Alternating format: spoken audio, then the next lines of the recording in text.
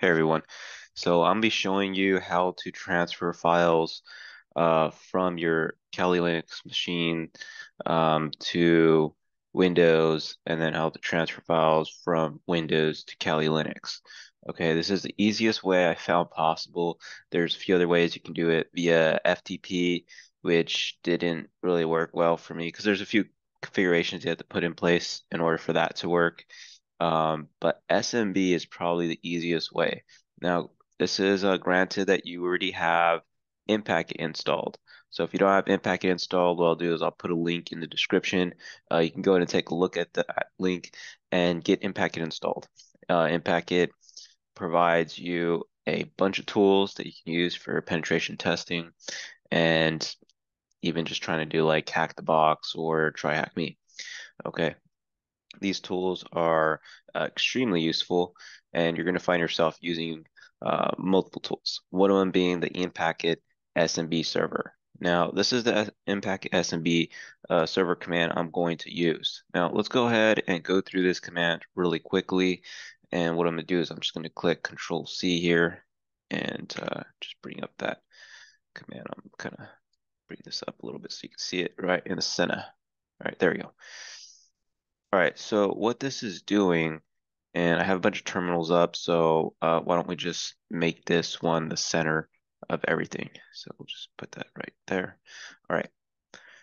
So it's saying sudo impacket SMB server share, and we're just using the SMB impact. Now, if you have SMB impacket or um, impacket installed already, uh, there's a bunch of Python scripts that uh, you can use. And so what you do is you do the dash and then just specify uh, which one of those scripts it's going to end up using. Now, I don't have to put in sudo python 3 impacket, you know, dash SMB server because um, I have this actually installed. It's and uh, you don't have to actually do that.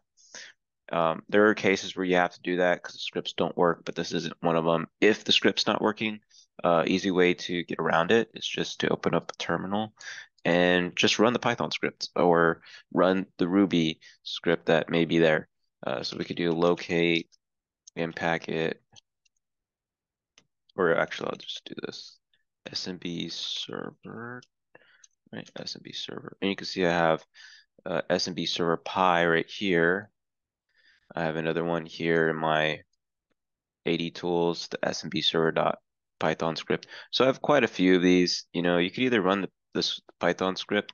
And in this case, I even have an exe, right? So you could have even a compiled version of the SMB server server.exe. Um, but if you have the uh, it like already installed, then you don't have to run those commands every single time uh, from that location. All right. Next, you see share. That's because we're starting SMB share. And the server message block, uh, just to give you a quick understanding of that. Uh, it essentially enables us to share, um, connect to a share, and I'm pretty sure you've done this whether in school or at your job.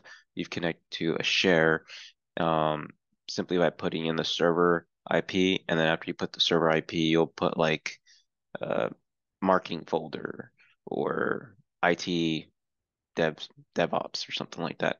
And when you put that, it'll connect to that folder that's shared amongst uh, a group of people.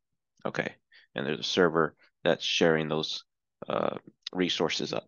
Okay, so what we're doing is we're setting up our own share, and this is allowing us to transfer files between Kali and Linux, uh, or between Kali and Windows. Okay, very easily.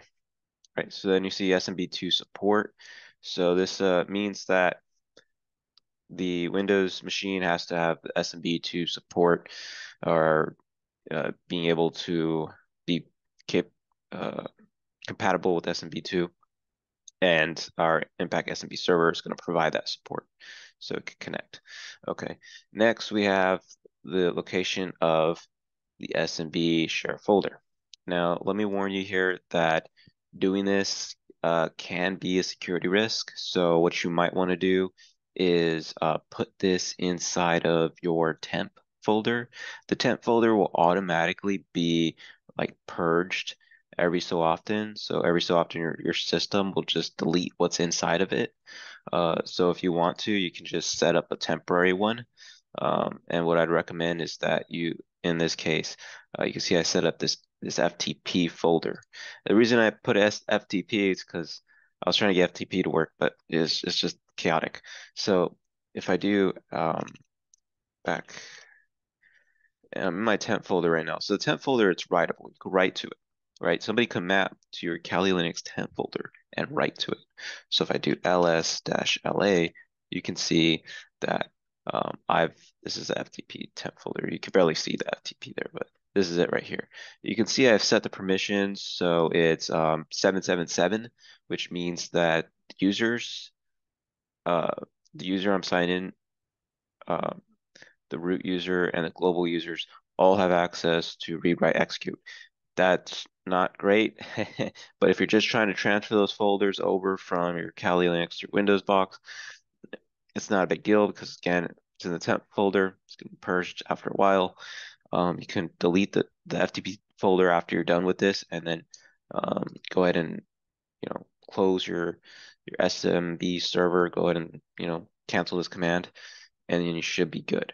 Okay, but just for the time being, this uh, this will do. So what we're going to do here is I'll just run through the commands you're going to go through, right? So uh, we'll just run through these commands again. So first, I'm going to assume that you're in your root folder. Okay, so from your root folder, go to your temp folder. Okay, then from your temp folder, do chmod 777, right? Or actually, mkdir. Uh, we could just do mkdir uh, SMB. Okay, uh, folder. Okay, no spaces, just just like that. Okay, and then we're gonna do chmod 777 SMB folder. All right, and then we're going to go inside the SMB folder. So SMB, SMB folder. So now we're going inside the SMB folder. We don't have anything in it, so I'll just create a, um, let's just nano test dot text. Okay, this is test dot text. There. This is a test. All right. I'll hold, I'll hit Control O to save it, and Control, and then Enter, and then Controls X as an X-ray to close it. Okay.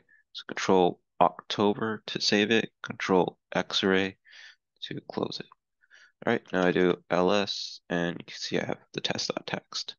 Okay, so now from the Windows box, what I'm going to do is I'm going to enter, I'm going to go to network, and I'm going to enter the IP address.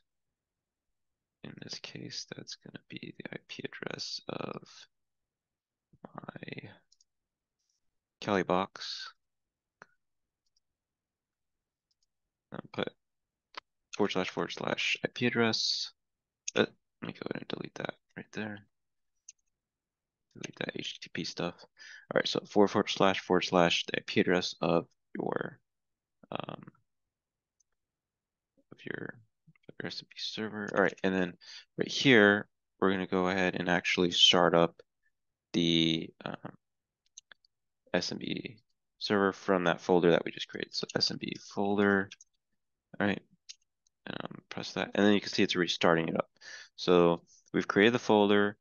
We've uh, ser we're serving it up via SMB, and then here we're going to uh, map to that folder, right?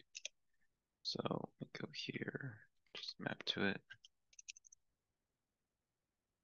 So you go to network, and then you input forward slash forward slash the IP address, right? And then when you do that, see it's connected, it's authenticated. And another great thing is if you're trying to do hack the box or something, you can intentionally do this and you'll get the hash of whoever's logged in if that's what you're aiming to do. But in this case, I'm not trying to do that. I'm just trying to get a file from Windows to Kali and from Kali to, to Windows, right? So I click on the share here, it's going to open it up. There's the test.txt, I open it up and um, I'll give that a second. It's going to open the document. Give that a second. You see this is a test. So great, we can transfer from Kali to to Windows, but we could have done that with Python server, right? What we really want to do is transfer from Windows to Kali, right? That's the difficult part because you either set up a you know a Python server with Windows, which isn't installed by default, or you try to set one up with with PowerShell, which is going to be a bunch of commands and not very fun uh, or easy. And this is the easiest one because guess what? I have this malware trying to get from Windows to Kali so I can um, analyze it. Uh, so what I'll do is I'll go ahead and just drop it here and it'll copy it. And the reason it's going to copy it is because I've set the global users permissions to read, write, execute, right, with the 777 uh, command I did earlier. So now what I can do is I can uh, just open the folder and then I can go to my root directory here, go to my temp, go to SMB folder, and then there's the malware.exe that I can now um, analyze, right? So uh, that's how you do it, guys. I hope this video was helpful because I spent a good chunk of time trying to figure out how do I get stuff from Windows to Kali, and everything I found was very complicated, very time consuming. This is quick, this is easy. I'm pretty sure this is going to help a lot of people. So I uh, hope you enjoy this video. Please consider liking, subscribing. Thank you very much. Danny out.